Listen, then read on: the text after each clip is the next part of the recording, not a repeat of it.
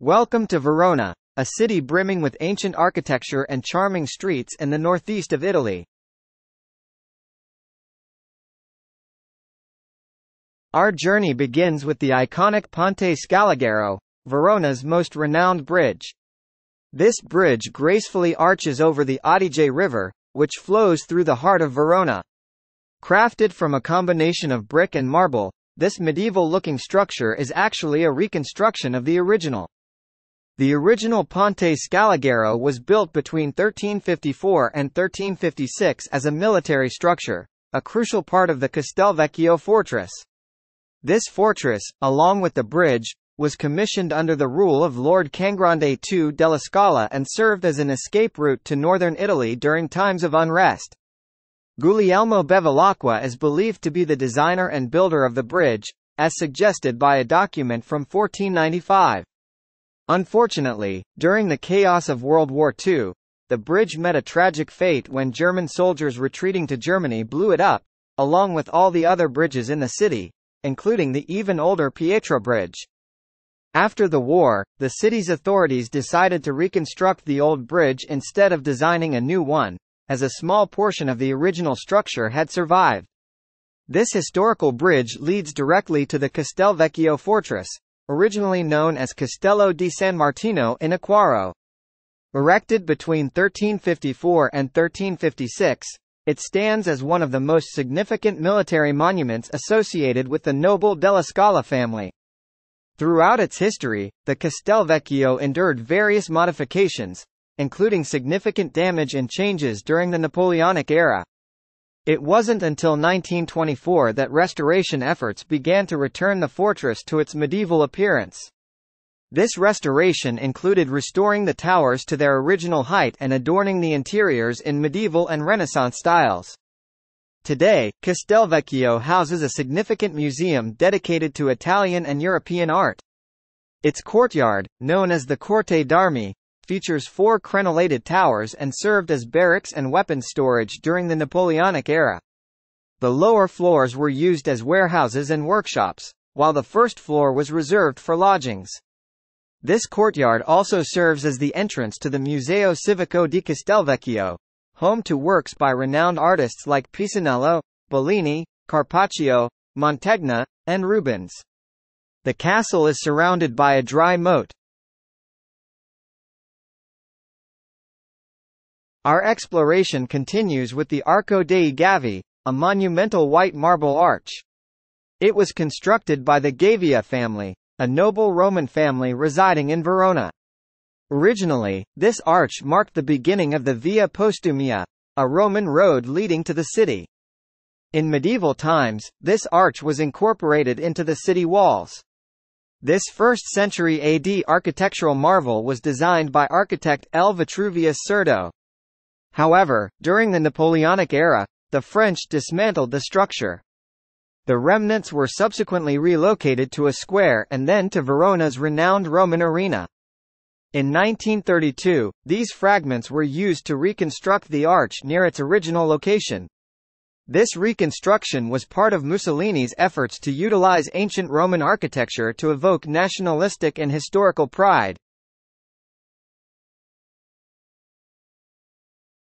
Now, we find ourselves in the heart of Verona's historic center. This old town, with its medieval origins, nestles within the meanders of the Adige River. The city center is home to over 250,000 inhabitants and was ruled by the Della Scala family in the 13th and 14th centuries. They were responsible for the construction of significant landmarks such as the Castelvecchio Fortress and Ponte Scaligero.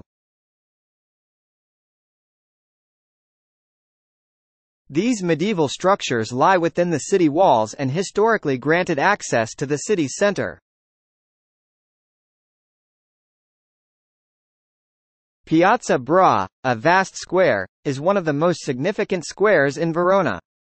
It serves as the stage for Verona's renowned opera festival, an event that attracts thousands of visitors each year. The square is lined with picturesque, colorful palaces, many of which have historical significance. It is also brimming with restaurants and cafes offering outdoor seating. Giardini Vittorio Emanuele II. These gardens, constructed in honor of Vittorio Emanuele II, the first king of Italy after unification, feature a famous fountain known as the Fountain of the Alps. Located just behind it is a bronze statue of King Vittorio Emanuele II on horseback. The park provides a perfect spot to relax on a sunny day, shaded by cedar and pine trees. The Verona Arena is one of the city's most iconic landmarks, an ancient Roman amphitheater built in 30 AD. Despite its age, the arena is still in use today as a theater and stands as one of the best preserved examples of its kind. In ancient times, it could accommodate nearly 30,000 spectators who flocked from far and wide to witness performances and games. Originally, the arena was constructed just outside the city walls, but the city expanded and the arena now resides in the heart of Verona. It is often used for opera performances, making it an integral part of Verona's cultural heritage. The exterior consists of pink and white limestone, a color that illuminates beautifully under the setting sun. Today, the Arena di Verona Festival is a world-famous opera festival, attracting music lovers and theatergoers from around the globe. The festival takes place each summer, and the arena hosts open-air opera performances with a dramatic backdrop of ancient Roman architecture. Verona Cathedral, Cattedrale di Santa Maria Matricolare. The Verona Cathedral is a religious landmark dating back to the 12th century. It boasts Romanesque architecture, adorned with various sculptures and artworks. The cathedral's entrance features a beautiful rose window. Inside, you can admire artworks by the likes of Titian, among other masters. Juliet's House, Casa di Giulietta. Juliet's house is one of Verona's most famous attractions. This 13th-century building is believed to have inspired the setting for William Shakespeare's Romeo and Juliet. The house is a major pilgrimage site for lovers and romantics from around the world. You can visit Juliet's balcony and leave love notes on the walls. Basilica di San Zeno Maggiore. Verona is a city with a rich religious history, and the Basilica di San Zeno Maggiore is a testament to this heritage. It's a Romanesque church, showcasing stunning bronze doors adorned with biblical scenes. Inside, you'll find remarkable frescoes and artwork. This basilica is dedicated to San Zeno, the patron saint of Verona. This ancient Roman bridge dates back to 100 BC and is one of the city's oldest structures. It's built from local red and white marble.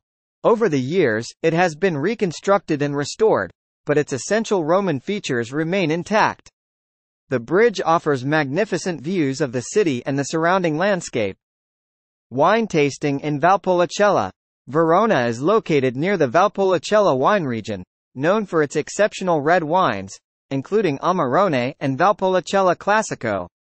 You can take a short trip outside the city to visit local wineries, sample the wines, and appreciate the scenic vineyard landscapes. This hilltop castle overlooks Verona and offers panoramic views of the city and its surroundings. You can reach the castle via a short hike or by taking the funicular. The site includes a lovely park where you can enjoy a peaceful stroll. If you have time to explore local culture, visit Verona's vibrant markets. These markets offer fresh produce, clothing, antiques, and various local products. The most famous of these is the Piazza della Herb Market, located in the square of the same name. Giardino Giusti is a Renaissance garden showcasing elegant landscaping, impressive statues, and well-manicured hedges. You can stroll through these peaceful gardens, discovering the unique design and enjoying the tranquility. Verona is renowned for its culinary offerings, featuring dishes like risotto al tastasal, pastissada de caval, and risotto alla marrone. Don't forget to savor the delicious local wine, particularly Amarone, which pairs wonderfully with many regional dishes. Verona is a city with a rich history and an incredible blend of architectural wonders, making it a fantastic destination for both history enthusiasts and lovers of culture. Enjoy your visit to this captivating Italian city. If you like the video don't forget to like, share and subscribe my channel.